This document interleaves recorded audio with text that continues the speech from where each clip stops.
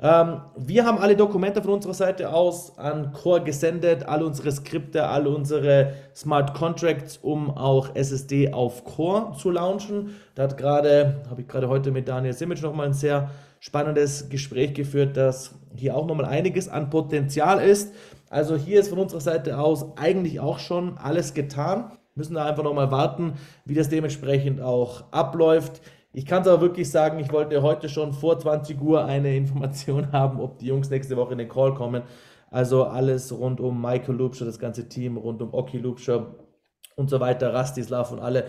Die antworten gerade sehr sporadisch oder gehen nur sehr kurz oder ja, meistens ein bisschen ja, Anruf in Abwesenheit, ein bisschen verspätet an, ihre, an ihr Telefon dran. Es ist ein bisschen schwer, die gerade zu erreichen, aber ich denke, das wird sich in den nächsten Tagen beruhigen, um dementsprechend da auch weiter nachhaken zu können. Und nochmal ganz klar gesagt, Sie haben heute nochmal davon gesprochen, Sie haben jetzt nicht neun Jahre oder zehn Jahre lang was aufgebaut, um da ja die Exchange die ganze Zeit in der Alpha-Phase zu lassen, kein Marketing zu machen oder selbst Volumen hinzuzufügen oder Liquidität hinzuzufügen, ja, sondern ganz im Gegenteil, die haben große Marketing-Schritte geplant.